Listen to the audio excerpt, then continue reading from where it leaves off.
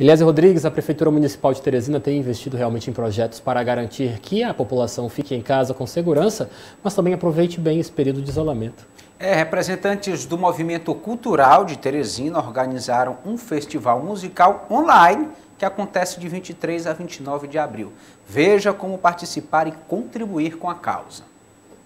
O Festival Teresina em Casa é realizado através de uma parceria entre a agência FP2 e Marketing Digital e a Agenda Cultural de Teresina.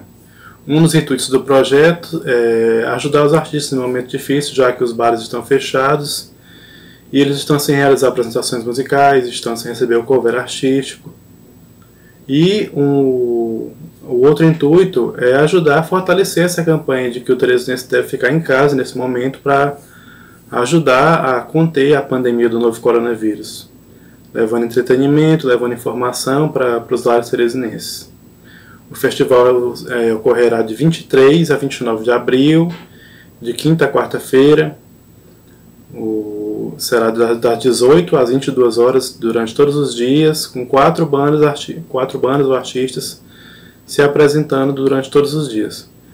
A gente procurou reunir gente do, do rock, do pop, do, do forró, do reggae, do eletrônico, do samba, até do brega e os artistas é, conseguirão é, angariar fundos com as lives através de doações, tanto para si próprios como para instituições que eles queiram ajudar. Vale ressaltar também que o festival é realizado sem fins lucrativos tanto para as empresas realizadoras como para as empresas apoiadoras, como o caso do blog do Soares e o perfil Qual é a Boa THE.